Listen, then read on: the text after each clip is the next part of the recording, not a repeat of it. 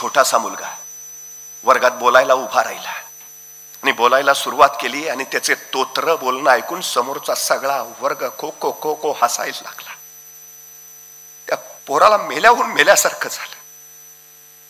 मुलं पुढं बोलूच ना त्याला. त्याच्या डोळ्यातनं खळदेश अश्रू उघडला आणि क्षणात मान खाली घालून तो बाहेर चालताच अपमान जिव्हारी लागला होता. मी आहे तोत्रा नाही बोला नीट बोलताय पण हा जन्मजात आलेला तोत्रेपण आहे. मी काय करणार? हा झालेला अपमान बघून त्या मुलाला असं ठरवता आलं असतं की आता इथून पुढे मी कधीच कुणा पुढे बोलणार नाही. आता इथून मी कधीच भाषण करायला उभा राहणार नाही. हसतायत मला. अपमान होतोय माझा. नाही. त्या अपमानातूनच त्यानं सन्मान मिळवण्याचा निश्चय केला.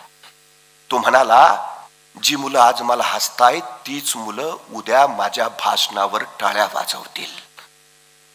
आणि त्या दिवसापासून त्या पोरांनी कामाला सुरुवात केली. तोत्रेपणा घालवण्यासाठी गालाच्या दोन्ही बाजूला तो दोन गारगोट्या ठेवायचा आणि गारगोट्या ठेवून बोलायची. सतत सतत सवय करायचा सतत सराव करायचा. बोलता बोलता त्या गारगोट्या दाताला घासायच्या गालाला घासायच्या गाल रक्तबांबाळ व्हायचा तो वेदना सहन करत राहायचा पण तोत्रेपणा गेला पाहिजे म्हणून जीवाच्या अकंताने प्रयत्न करत राहिला आणि अखेर स्पष्ट उच्चार करताच मला आता स्पष्ट बोलता येत पण माझा आवाज पल्लेदार झाला पाहिजे. मोठमोठाले डोंगर चढायचा आणि उतरायचा सकाळी उठल्याबरोबर त्याचा तो सराव सुरू व्हायचा. छातीचा फाता मजबूत झाला पाहिजे. त्याशिवाय पल्लेदार वाक्य नाही फेकता येणार माझा श्वास टिकला पाहिजे त्यापेक्षा माझा दम नाही वाढणार. बघता बघता छातीचा भाता मजबूत झाला बुलंद झाला पल्लेदार वाक्य फेकता येऊ लागली. माझा आवाज मोठा झाला पाहिजे.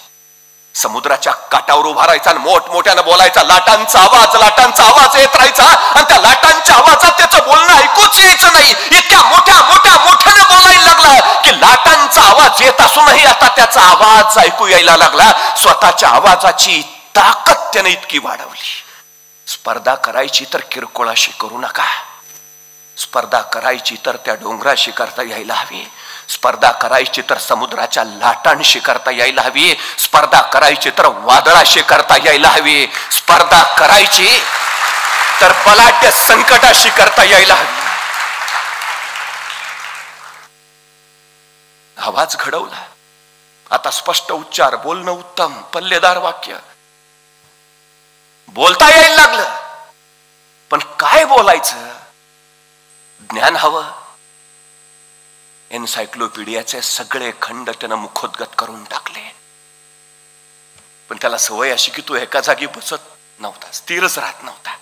वाचायला बसला की दहा मिनिटं झाली की उठायचा बाहेर जायचा फिरून यायचा लक्षच लागत नव्हतं. स्थिर बसलं पाहिजे बैठक टाकली पाहिजे त्याशिवाय अभ्यास होणार नाही. पण नव्हता स्थिर बसत. शेवटी एके दिवशी तो सरळ घरातनं उठला. एका नाभिकाच्या दुकानात गेला आणि त्याला सांगितलं माझ्या डोक्यावरचे अर्धे केस काढून टाक. त्याला काही कळे ना अर्धेच केस. तू काढ रे. अर्धे केस ठेव अर्ध टक्कल कर. त्या नाभिकानं त्याचं अर्ध टक्कल केलं. त्यांनी स्वतःला आरशात बघितलं. भयानक विचित्र दिसत होता. आता अशा अवतारात बाहेर कुठं जायचं? घरातच थांबून राहायला लागला. सबब बाहेर जाणंच बंद झालं.